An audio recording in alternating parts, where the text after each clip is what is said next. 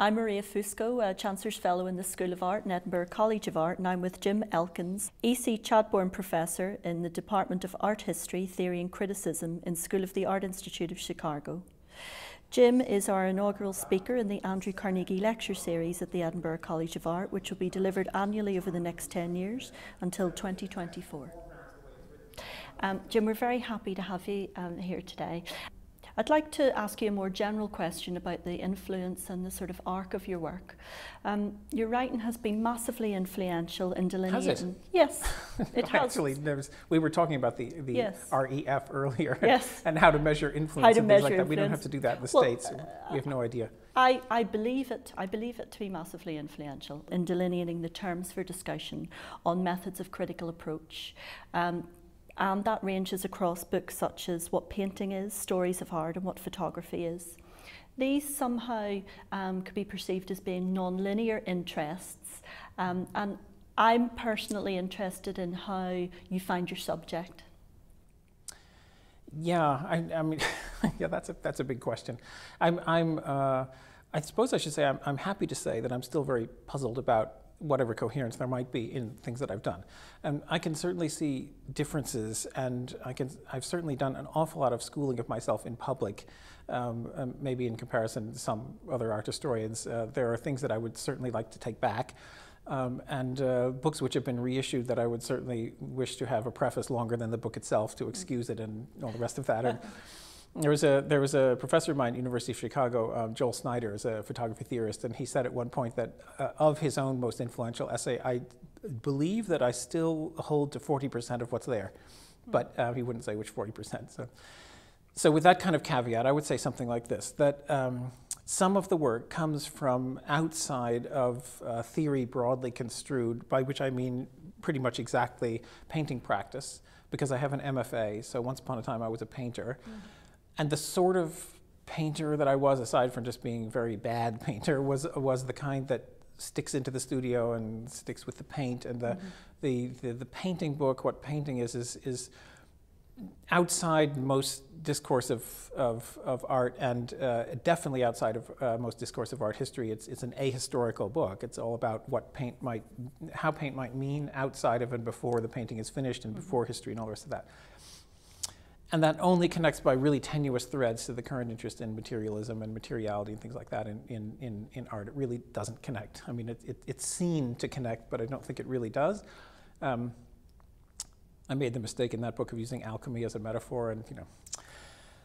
So there's a fair amount of writing of that sort, and then uh, as a separate kind of a thing, I've also um, been interested in specific topics, especially science and art, and various forms of interdisciplinarity and recently, in the last number of years, especially interested in the ways that people talk about interdisciplinarity. Mm-hmm. Um, and uh, so, although this didn't come up in our conversations uh, this morning, um, I think there are interesting distinctions to be made between interdisciplinarity, transdisciplinarity, postdisciplinarity, subdisciplinarity, and metadisciplinarity.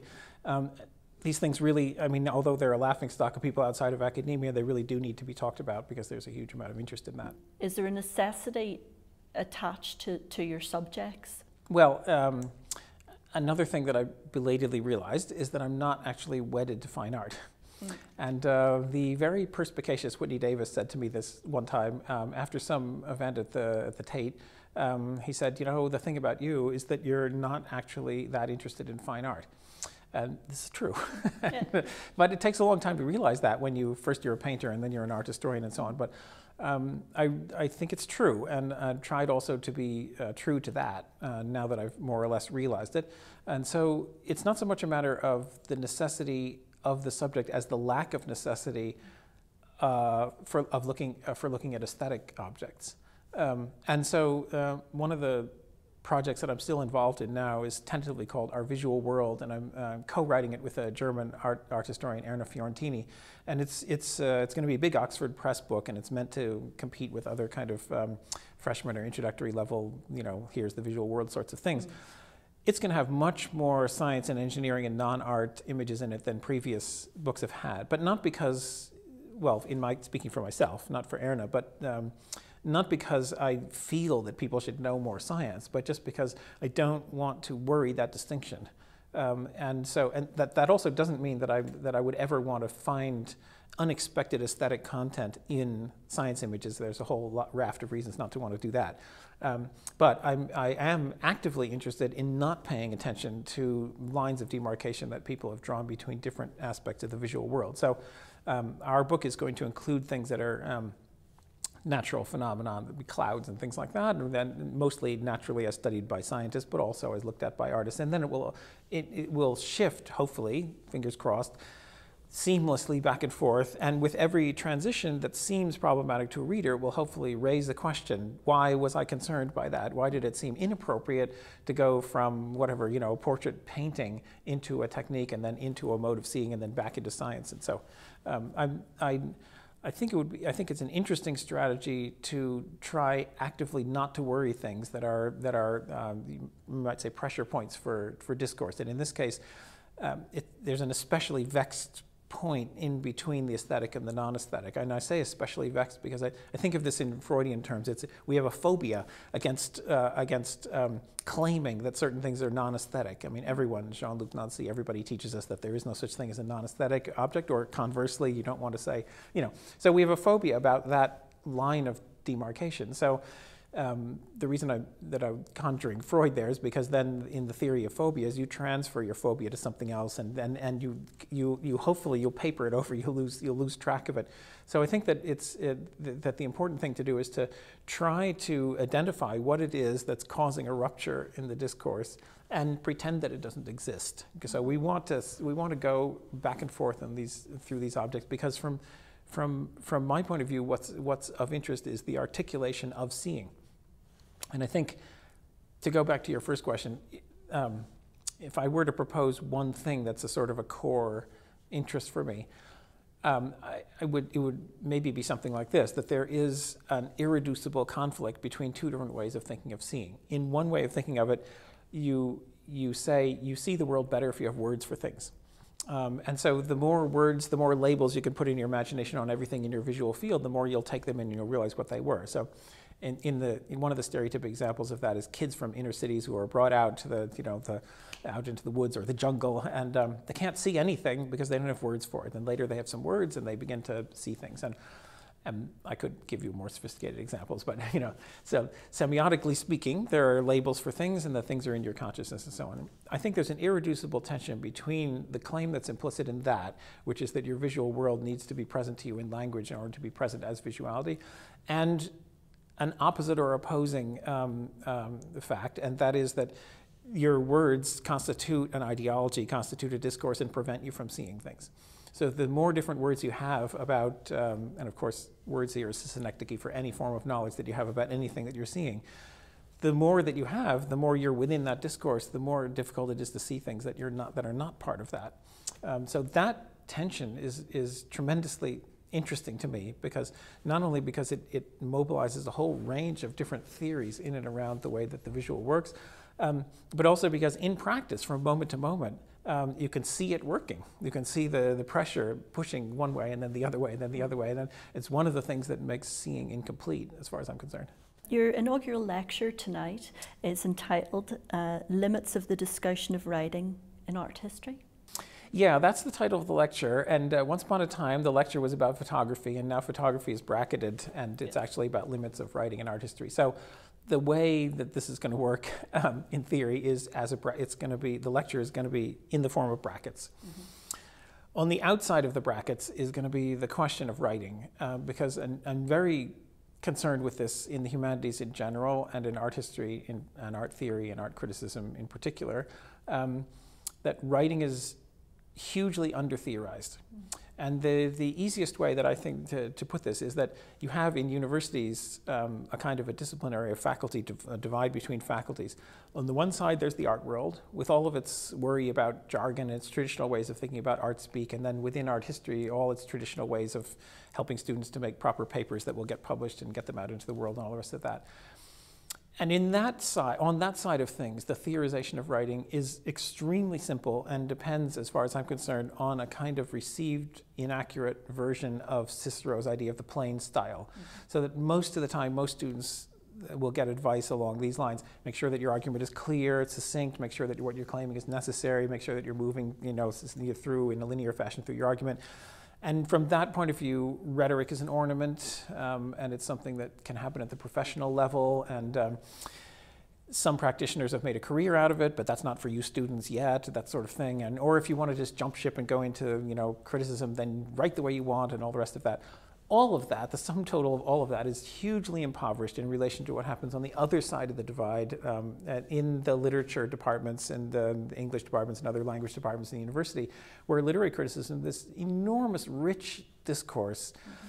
from new criticism up through up to you know whoever you want to name, Paul de Man or someone like that. Um, there's, there are huge resources there for understanding how writing works. There's an enormous, um, there's an enormous bibliography, uh, and there's a, there's a great smorgasbord of different kinds of theories about what reading is that are absolutely unknown on the side of art history theory and criticism. And when they come across that, like if it's an osmotic divide or something, they lose almost everything. And what actually survives on our side, quote unquote, is stuff like the plain style, or just things like, well, you can be a good French post-structuralist writer. You can read, like, write like Hélène Cixous. You'll be wild and crazy, and everyone will love you. But will you get a job? it, it's at that level. So this is my concern about writing in art history and the humanities in general. The way I make the distinction between the problem in art history and the humanities in general is that art history is, is supposedly um, that part of the humanities that knows how to write about and with images. So we supposedly have a better handle on how to do that and what, the, what an image does in a text and for a text and against a text and so on. And I don't think we do. So that question of the image um, uh, in, in the art historical writing leads me, for myself, to generalize this question. And I'm now looking at um, novels with images like Sebald and things. And that's the other half of the bracket. So the lecture, what's outside the bracket is to begin with, experimental writing in art history. And after, at the other side of the bracket, it's this, I think, generalized form of the same issue. That is, how does writing get along with images when it's not, when the images may not be art, when the writing may not be nonfiction, but still, it's the generalized issue. And that is the place where literary theory already is at play, although in a limited way in the, in the case of things like Sebald, but, but um, in a very uh, extensive way in the case of novels that, that have um, evocations of images as opposed to actual images. So that's just to conjure what's outside the brackets. And then what's inside the brackets is the, the, the, my own first attempt at this, and that is this uh, book on photography that I wrote, which, is, which was originally written against Roland Barthes' Camera Lucida for a number of reasons. One of them is that it's the most dramatically oversighted book on photography that still everyone's you know go-to source for photography and so on. Um, but so my interest is partly to try to redescribe photography, in other words, a nonfiction purpose. But my other purpose, and the one that I want to emphasize in the talk, is that Roland Barthes, at the time that he wrote that, was very much involved in theorizing fiction. And he was, he was teaching a course uh, about reimagining the novel. He was working on this seminar, The Neutral. He had lots of ideas about how um, truth and fiction, discourse and writing work in the world. And that the, the problems that people find with the theoretical inconsistencies in camera lucida, I think, are directly attributable to, can only be attributed to the author's own intention of letting writing go. He wanted to see what would happen if he would actually take writing seriously enough so that it might begin to undermine his own arguments, and is indeed what happens in several places in that text in a demonstrable way. So, in my experience, people haven't come to terms with these two different parts of camera lucida at the same time. The one part is what theories it has, to, what does it have to say about photography, and the other is what's it have to say about writing. Um, and I have a couple of examples in the lecture of each one's of one of those readings, but I don't think anyone has tried to do both at the same time. Because if you do, I think you're being, this is what I tried to do, I think that's more faithful to what he had in mind. He really wanted um, to try to problematize um, the very idea of making a claim about X, Y, Z, in this case, photography. Um, and so I think without, without taking that into account, the book is, you don't really fully read the book. Mm -hmm. So I suppose the third part of my intention here is to really, really read the book in a way that people haven't tried so much before. Um, there have been a number of many, many interesting individual readings. But I would the re, the fact that the book survives, and the fact that one of the reasons given for its survival is that it's supposedly written beautifully, shows me how anemic the discourse of literary criticism is in the art world, and how much more needs to be done to read like through that book or against that book, and however you'd want to say that metaphor. Yes. Um, Bernhard Schlink in The Reader talks about um, uh, experimental writing as writing which experiments with the reader. Oh. And I'm just wondering how would you, you, would define the experimental within your own work? Yeah, it's a difficult thing, experimental. Um, in the lecture, I'm going to use the word interesting. What counts as interesting writing? Um, because it defers the more difficult question of experimental. So uh, in the talk and, uh, and uh, in the project that I'm doing now, in interesting means within any given discipline, usually it's art history or art theory, um, I want to look at the texts which have been, where the writing has been remarked on by people in the discipline. Mm. So interesting just means marked for further investigation. It's not actually a concrete judgment, has no positive content, and as we all know in the art world, because people are always saying things are interesting.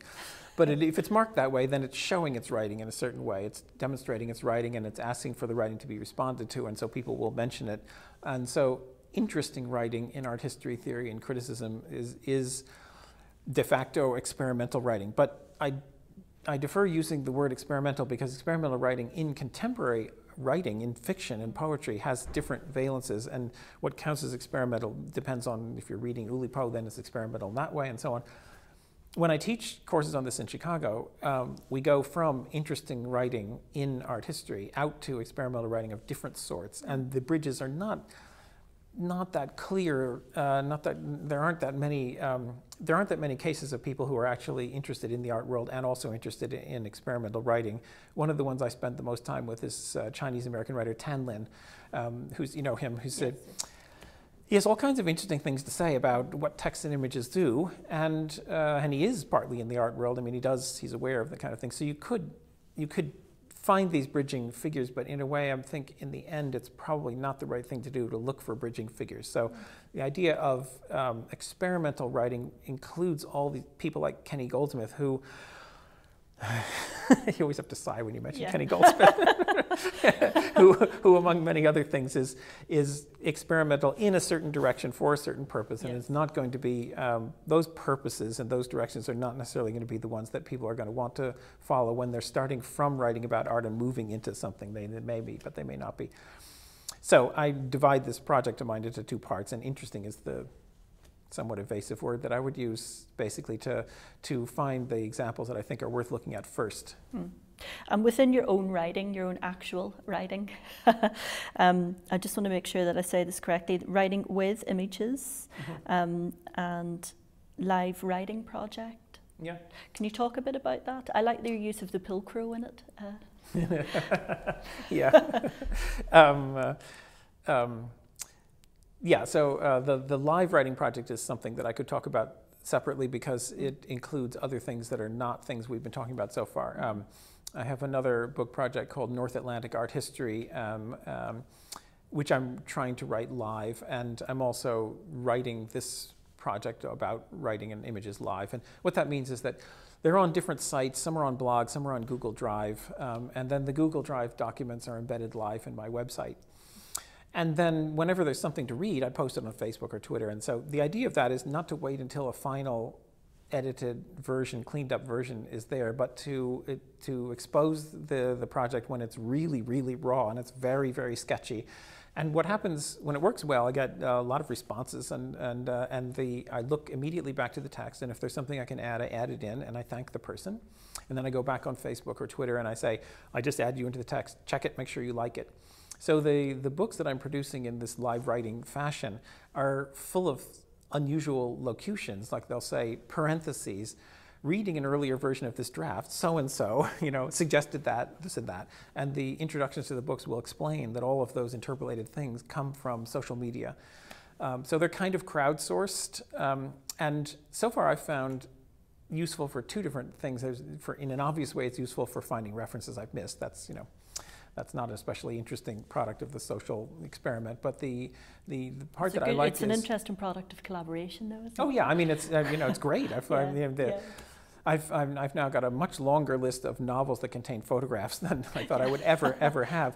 At any rate, um, but still, conceptually, it's, it's less interesting than the other product of, the, of crowdsourcing, and that is people are constantly reminding me of larger frames which I've forgotten because I'm focusing on smaller things. So people are constantly bringing me back and saying, well, but wait a minute, what about the graphic novel? And, you know, why are you bypassing this and that and the other thing? And so a lot of stuff is, is uh, a lot of the effect of it is not so much the coherence of the arguments, but the links between the arguments and things that weren't that I hadn't been thinking of or that I've been deferring or that I thought I could successfully bracket out.